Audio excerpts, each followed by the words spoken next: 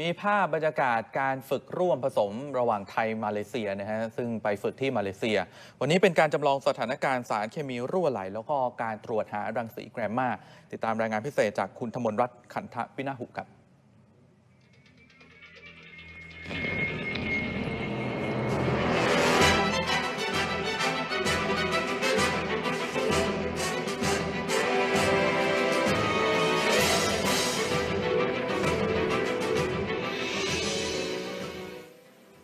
ในวันนี้นะคะพลตรีทิติชัยเทียนทอง ในฐานะรองผู้อำนวยการฝึกร่วมผสมไทยมาเลเซีย ครั้งที่ 3 ได้เดินทางมาเยี่ยมชมสถานีฝึกสารเคมีรั่วไหล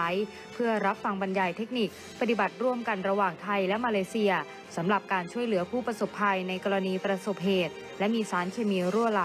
และร่วมดูการสาธิตการใช้อุปกรณ์ ตรวจหารังสีแกมมาของกองทัพมาเลเซีย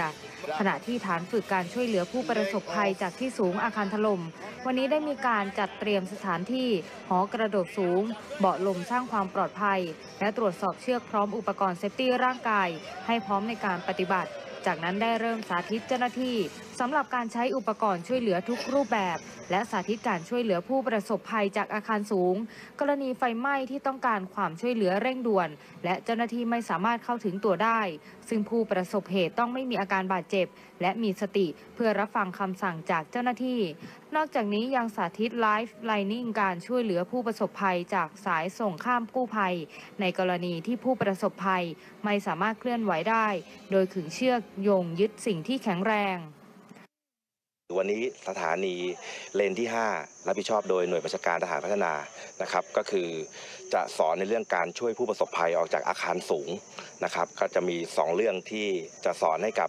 ผู้ที่เขารับการอบรมก็คือเรื่องการใช้ระบบลอกนะครับหรือว่า life lining นะครับจากที่สูงอาคารสูง แล้วก็สำหรับผู้ป่วยหรือผู้ประสบภัยที่มีความสมบูรณ์ด้านร่างกาย แล้วก็จิตใจไม่บาดเจ็บ อะไรอย่างนี้ครับก็จะด้วยความเร่งด่วนเอาออกจากพื้นที่อันตราย ก็ใช้ใช้การกระโดดที่เบาะลม ทั้งนี้เราก็จะเน้นที่มาตรฐานความปลอดภัยเป็นหลัก ก็โดยมี smart team ช่วย inspector แล้วก็เป็นช่วยให้คำแนะนำต่างๆครับอย่างไรก็ตามในวันพรุ่งนี้จะมีการซักซ้อมพิธีเปิดอย่างเป็นทางการ ภายในมหาวิทยาลัยอูทาราซึ่งจะมีเจ้าหน้าที่และพาหนะในการฝึกของกองทัพไทยและมาเลเซียเข้าร่วมด้วย ปริญญาโมอ่อนถ่ายภาพ ทมนรัฐขันทวินหุ รายงานจากรัฐเคดาประเทศมาเลเซียค่ะ